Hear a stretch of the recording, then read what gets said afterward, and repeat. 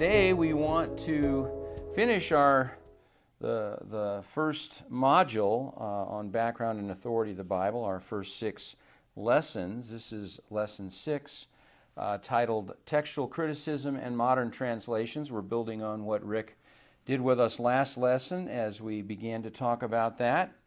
And so, by way of introduction, you recall that we have seen that God has preserved for us an inspired, inerrant, and authoritative text. However, it is a text uh, contained in thousands of copies. I think Rick mentioned there's over 5,000 copies that need to be evaluated to determine and get back to the original reading. And once the original reading has been determined, the text must then be translated into our language. Um, and this lesson speaks to these issues. By way of overview, we want to build on what uh, we had in lesson five, talk more about our modern translations of the Bible. Uh, we will begin with the King James Bible. I think that's where we left off last time, and then discuss revisions to the King James Bible, as well as other modern translations uh, like what I use, the New American Standard, and others that are very good. We're also going to talk about the importance of textual criticism. And this is not a um, uh, something we want to, we'll bring this up later. um, textual criticism, that's our exercise for later. But the bottom line is it's, it's examining the text that we have and making decisions concerning what would have been the original autograph, the original text. So we want to talk about that. You need to be aware of that because sometimes people use that to say that the how can the Bible be inerrant when there's uh, mistakes in the Bible or things like that. We're gonna we're gonna mention that. So let's begin with this King James debate. Uh, as we begin to talk about the King James Bible and other modern translations, it's important to be reminded that they are just that. They're translations, people. Uh, God, in His providence, as we have seen, has preserved His word for us in the original languages in which the autographs were written. You remember, the autograph is the original letter or bo- uh, uh, writing that the author penned, like Paul with Romans. There was an original letter, that's the autograph, and then it was copied after Paul wrote the original autograph, as we say. So, we want to remember that we have translations, copies, and translations from that original.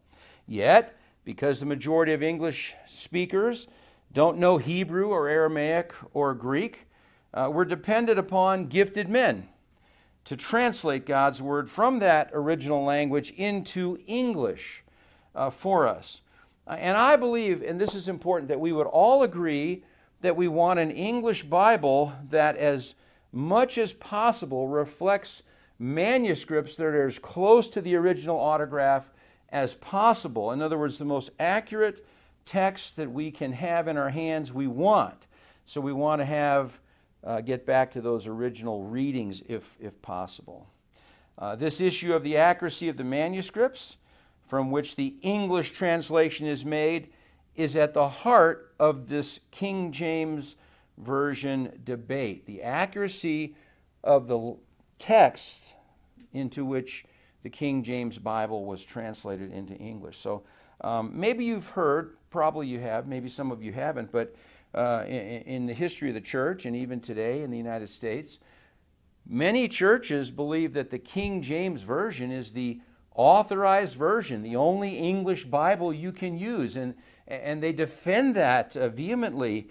And, and we don't want to cause dispersion upon that but we want you to think biblically and accurately about the translation you have. And so we want to discuss the reasons for this viewing it this way. And there are fundamentally two ideas that are promoted. Uh, and this is pointed out by Wegner in his very good book. And the first reason is, he, and I'm quoting him, those who believe that it is the only authoritative text, this is and that it has been preserved by God through the ages. So they're saying that the English King James is the only authoritative text preserved by God through the ages. That's the first point that they make. A second point of argument is this those who argue that the text of the King James Version preserves, they say it preserves the original Greek text better than does any other version. So let's just talk about that a little bit. Um, it's important to understand these ideas. Concerning the first point that we mentioned, um, that it is the only authoritative text preserved by God through the ages, we would argue that God's authority is directly associated with the inspired original autographs. We've talked about the doctrine of inspiration. It's attached not to the copies, but to the original autographs. That's where the authority rests. And then with the accurate copies of those autographs, which he has preserved. We talked about the doctrine of God's preserving his word for us throughout the centuries. To the degree that we have an accurate translation that comes from manuscripts as close to the originals as possible, to that degree we can say we have God's authoritative word. Does, does that make sense to you? I hope so. Authority then does not reside with any particular English uh, rendering of the original languages, but with an accurate translation of a text reflecting the originals as much as possible. That's very important, and that deals with that first idea that it's, it has that kind of authority. It does not by, uh, in, in, how we define these things. Second point that uh, the King James Version preserves the original Greek text better than does any other version. Let's make a few comments about that. Uh, and Rick pointed some of these things out last time very, very well. The King James Version was based on, upon Erasmus's Greek New Testament, which used about six manuscripts, six manuscripts, none earlier than the 10th century. Um, that comes from Wegner. This Greek text later became known as the Textus Receptus, uh, which does not mean received from God, but denotes the standard text of the 17th century, Erasmus's text. Now you might be already thinking, wow, uh, six texts, none earlier than the 10th century, oh, that may be a problem, and I think it is.